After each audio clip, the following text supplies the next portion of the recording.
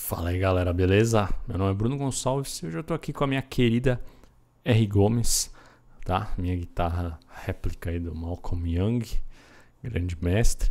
Quem não viu o vídeo dela ainda, clica aí em cima. Hoje a gente vai falar um pouquinho sobre fraseado, mas especificamente fraseado de bend e de vibrato, tá? Que são ferramentas aí super importantes, super essenciais para você conseguir tocar bem e ter um som bom de guitarra. Se você não se inscreveu ainda, clica aqui e vamos lá. Então, galera, para isso eu gravei uma base, tá? Eu gravei aqui no loop da minha pedaleira. E eu gravei uma base em Ré, tá? Em drop Ré. E eu vou fazer algumas coisas em Ré menor, tá? Então, assim, basicamente, qual que é a ideia principal disso aqui que a gente vai treinar hoje? Bends e vibratos não precisam ser feitos sempre da mesma forma, tá?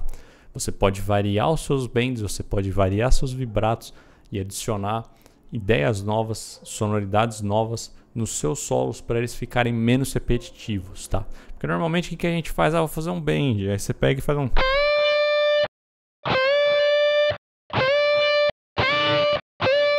sobe o bend muito rápido e às vezes segura um pouquinho mais, aí segura um pouquinho menos e é isso.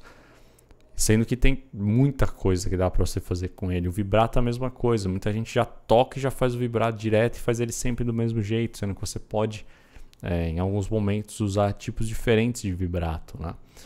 E isso que eu não vou nem comentar sobre a alavanca, porque, como vocês sabem, no momento eu não tenho nenhuma guitarra com alavanca. Então, para quem tem alavanca, vocês também têm essa opção ainda. Então, eu vou soltar o track aqui, vou tocar algumas coisas em cima e daqui a pouco a gente troca uma ideia sobre elas.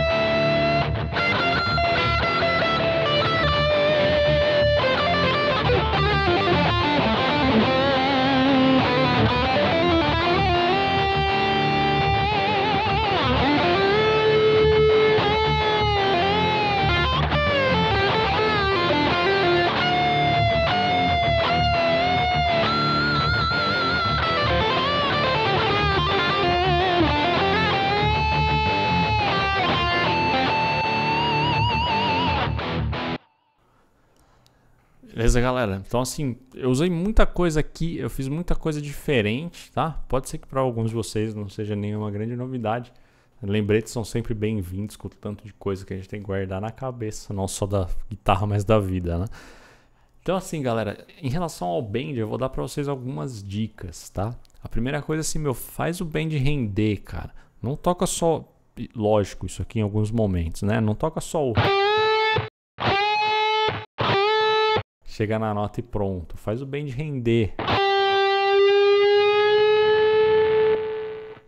Se você não estiver fazendo careta, você está fazendo errado, tá? Chegou lá em cima, cara, você tem algumas opções. Você pode fazer vibrato, tá?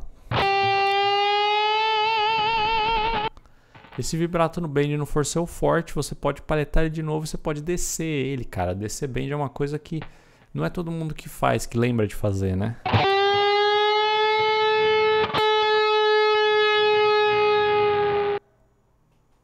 Você pode tanto descer ele no fade, que nem no caso essa guitarra aqui, o cap dela não tem tanta saída, que nem o que eu tô acostumado.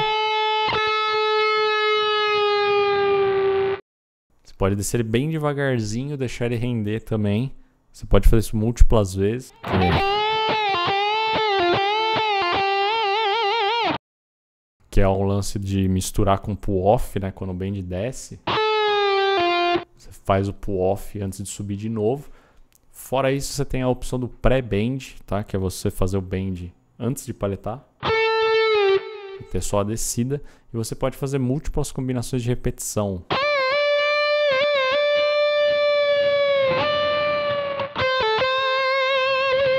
Lembrando que se você tem alguns problemas de sustain,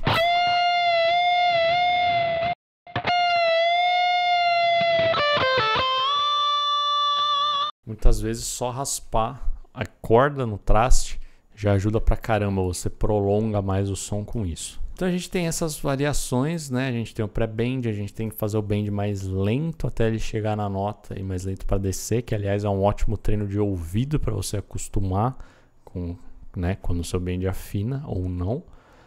Isso em contexto é mais difícil e mais fácil. e você pode misturar esses bends com outras técnicas, né? No caso aqui eu fiz uma coisa que é bem comum, descer o bend e fazer um pull-off. Outra coisa que dá para fazer no bend são conhecidos como